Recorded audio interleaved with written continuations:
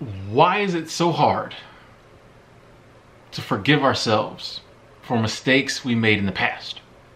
Things that we did that we're not proud of that happened a year ago, two years ago, 10 years ago. Why do they just keep coming up popping in our heads. And every time that memory pops up, all the emotion comes back and we replay the again the event all over again and, and we just get so down on ourselves again. It's just a horrible experience. And then when it finally goes away, a week later, it pops in our head again and the same cycle just keeps repeating. Why does this keep happening? And why can't we just forgive ourselves? Why is it so hard? That's what we're going to talk about in today's video. And the first thing I want to say is so you don't think I'm just some internet guy trying to make money off AdSense revenue by trying to tell you how to fix your problems. This is one I know all about, okay? For 15 plus years, I had a real problem with alcohol that I couldn't get a handle on. Um, I drank on a daily, a daily basis, um, and I did a lot of things, and I'm not proud of. I hurt some of the people I love the most in this life very deeply. I did some things to some people that I never really got to resolve, and sadly, those people aren't here anymore, and I'll never get to resolve it with them. Just some, some bad stuff. So I know what it feels like to, to just have memories that you wish you didn't have of situations where you wish you behaved differently. So in this video, we're going to talk about some of the things I've pondered on and done to get to a place where I'm able to say, I've forgiven myself for this stuff. Okay? And one of the first things you have to realize is that forgiveness is illogical. Forgiveness is illogical. And one of the things we try to do when we're trying to forgive ourselves is we approach it from a logical point of view. That is what is happening when we keep bringing these, these, these memories back up because they're unresolved. And so some part of us, like our subconscious mind, is like, oh, if I keep bringing this up enough, we'll be able to logically resolve it. But forgiveness is not logical. If you think about uh, someone who forgives you, some of the people that I did some of that really bad stuff to, you know, uh, uh, forgave me. But there was nothing, it wasn't a logical decision on their part. It actually was a loving decision. They decided to be the bigger person and forgive me. There, there's not enough sorries I could say. There's not enough crying I could do. There's not enough diamond rings I could buy when I just totally broke someone's heart in a horrible fashion for them to forgive me. But when I've been forgiven, when any of us have been forgiven, it didn't come from logic, it came from love. So if we're trying to use logic to forgive ourselves, it's never going to work. It's never going to work. You cannot beat yourself up enough to, to earn forgiveness. There's not enough penance you can pay. You can keep bringing a memory up from now until 2055 and beat yourself up every time and feel pain every time. You're never going to be able to logically resolve that situation and forgive yourself. Forgiveness is not logical. So we have to keep that in mind. Also, one thing to keep in mind, real quick, too, is that your brain doesn't understand tenses. So if you keep saying, I can't forgive myself for this, that's a self fulfilling prophecy. So one of the first things we want to do is stop saying, oh, why can't I forgive myself for this? Because if you say, I can't forgive myself for this, you're thinking like past and present. Your subconscious mind is thinking future. So every time you say, I can't forgive myself for this, why can't I forgive myself for this? Your brain is going to be like, oh, this is something we're not going to forgive ourselves for. Okay, I'll just keep bringing it up. We'll keep beating ourselves up. So that's something to remember too. We got to change that verbiage. Because there's no way we're ever going to be able to kick ourselves and punch ourselves enough to forgive ourselves. Something else to ponder. These things we did were in the past. We were a different person then. We have grown since then. I don't care who you are, we all grow over time. And a lot of us, since we made those mistakes or took those actions, have really grown. You cannot beat yourself up now for something past you did. It's just like all of us when we were growing up, we were kids, did all kinds of stupid stuff because we are growing and we laugh at it now. A lot of us were like so awkward and weird and just all this stuff when we were when we were young. And we laugh at it now. We may not like to be reminded of it all the time. We laugh at it. Oh man, you should have seen me in middle school. Boy, I was, ooh. you know? Same with like things we might have done even though we were an adult. It's weird that once we hit like 21 or whatever, we think we know everything. You don't. You're growing. Even if it was something that happened last year, you've grown since then. If you were the same person you are now, back then, you probably would not have behaved in that way. Because if you were still the same person, you would not feel any guilt over it, probably. But the fact that you feel guilt, the fact that you're ashamed, shows that you have grown.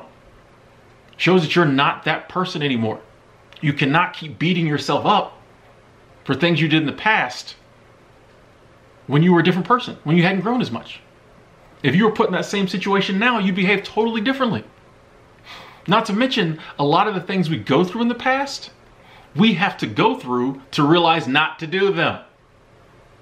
You realize, like, the reason you know now that that was bad and that you shouldn't have done that is because you did it and realized how big of an a hole it made you feel, how dirty it made you feel, how bad it made you feel. If you hadn't gone through that, you might not know that now. You can't beat yourself up for going through tests and trials and challenges in life, even if we feel like we failed those tests. The failure still teaches us. So, one thing we need to realize is that that was a different you. You've learned from that. You can move on now. Now, some practical steps on how to forgive yourself. So, this is great, Tim. You're talking about all these reasons why, you know, we shouldn't keep holding on to it. How do I let go of it? Here's a technique I have used Is it really worked for me? Like I said, all this stuff is stuff that I've used. It has really helped me. That's why I'm trying to pass it on.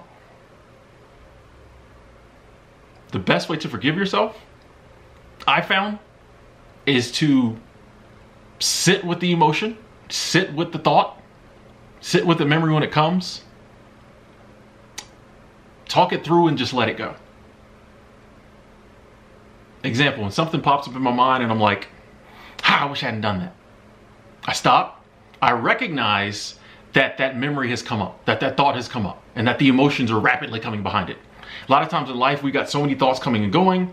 Um, in, in the course of, of, of 60 seconds, a bad emotion can you know can come up a bad thought a bad memory um, and we can just beat ourselves up rapidly and never even realize we did it but then we're suddenly stressed out and we have a bad you know we have a bad day so stop when you feel that thing coming up that you're ashamed about, you're guilty about, that you want to forgive yourself about, stop. Take a breath. I take a breath. Like,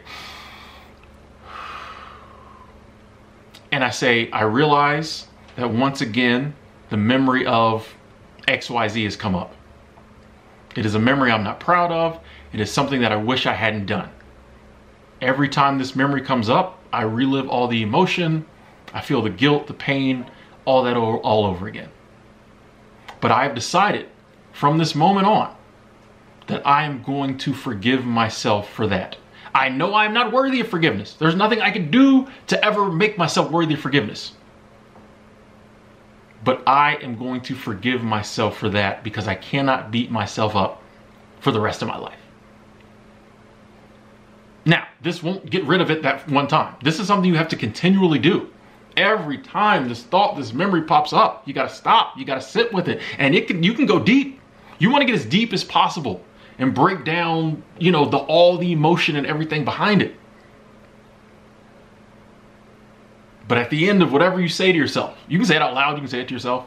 You want to say, but I have decided to forgive myself for that. Or I have forgiven myself for that. Even if at the when you first start doing this, you haven't forgiven yourself, I have forgiven myself for that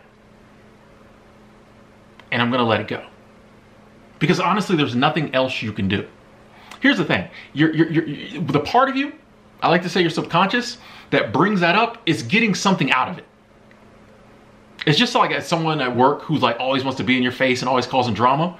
When you when you go back at them, they keep getting in your face and causing drama because the reason they're coming at you is because they want that that that back and forth. The same is true with like emotions that come up within us. There's something we're getting out of it there's a reason it keeps coming up. And even though it seems crazy that that those bad feelings and those down feelings and uh, uh, uh, all that comes out of it is what is, is what we're getting out of it. And even though it hurts us, There's a part of us that wants us to feel that. It's always weird. It's weird. But once you like surrender and let go of all of it, you're not giving yourself that. Okay? If every time it pops up, that thought, that emotion, whatever it is, and there might be several different things we got to work on at the same time. And you start saying, I've forgiven myself for that. I don't need to dwell on it. Then you're not giving yourself whatever it's looking for when you bring that emotion up, if that makes any sense. And eventually the time will come when your subconscious, whatever part it is, whatever part of you it is that keeps bringing that up, will be like, well, I need to bring that up. Nothing happens. Yeah, every time I bring that up, it just they just let it go. Not to mention, just like how you kept saying, "Oh, I can't forgive myself," was a self-fulfilling prophecy. If we say I've forgiven myself, it becomes a self-fulfilling prophecy. Eventually, you're like, "Oh yeah, I forgave myself for that." And I have seen this happen. There have been things that I just had to keep doing that. I'm not going to dwell on that. I've let go of it. I forgive myself for that. And over time, and a lot of times I didn't even realize it, like as soon as the, the memory popped up, right behind it, I would almost subconsciously say, ah, we've forgiven ourselves for that. We don't need to dwell on that. And it got to a point where a lot of the things that used to, used to really bother me and really get me down, now I can tell these stories. And if y'all follow the channel, y'all know I tell these stories and I talk about them. And and even though I I still feel bad from a sense that like there were things I wish I didn't do.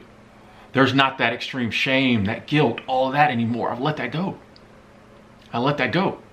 That was the old me. This is the new me. And one of the things also real quick that really helped is if there might have been a behavior like addiction or something like that that led to you behaving in the way you did, there was a habit that led to you behaving in that way, if you can start working on that habit, or you can let go of that habit, then it makes it a lot easier to forgive ourselves. Because you can look at that and be like, that definitely was the old me. I can't keep beating myself up for things I did when I was drunk, when I was high, you know, when I was caught in the throes of anger. Can't keep beating myself up for that. I've obviously changed my behavior. That was the old me. This is the new me. I've forgiven myself for that and I'm going to let it go. And if you can consistently tell yourself that, the day will come. You may even notice it. It's not like you're going to like wave a flag and be like, forgiven.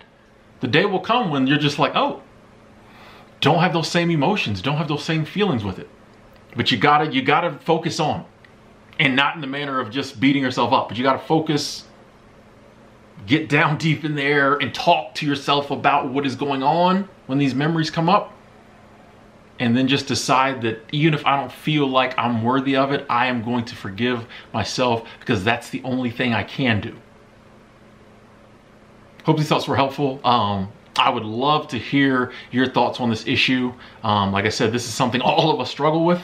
You know, some of us maybe a little more than others, um, but I would love to hear your thoughts on this issue in the comment box below. Also, you can hit me up on social media. Um, may take me a couple days sometimes, but I try to get back with each and every person who reaches out to me. I love y'all. Talk to y'all later.